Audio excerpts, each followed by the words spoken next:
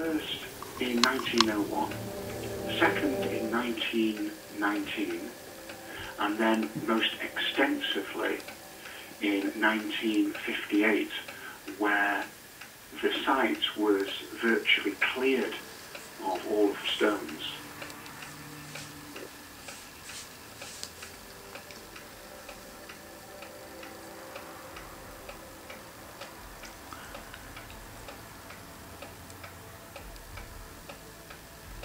Then the site was excavated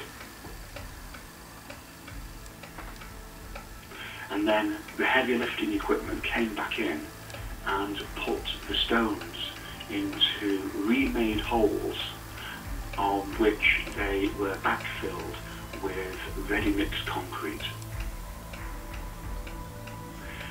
Sadly, Stonehenge is today nothing more than a modern representation of an ancient monument because it was dismantled and rebuilt.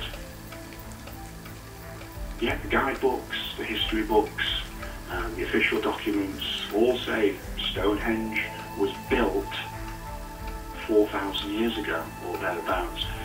There's no reference that it was built in 1958 using ready-mix concrete and steel and wooden blocks. How the British government got away with destroying an ancient monument, rebuilding it, I've absolutely no idea. And uh, the real reason that the excavation work was carried out, and the real reason, and that the tunnelling underneath the site.